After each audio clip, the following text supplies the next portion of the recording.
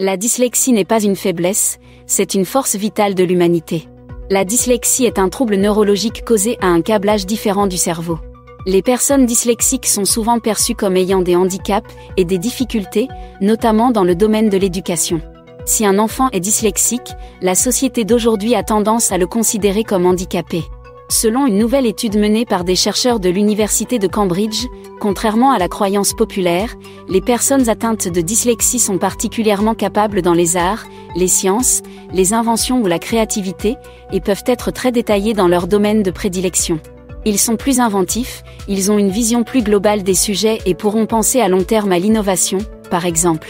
Les chercheurs affirment également que les personnes atteintes de dyslexie détiennent la clé pour aider les autres à s'adapter à des environnements changeants. Les chercheurs affirment que la dyslexie ne devrait plus être considérée comme un handicap ou un trouble.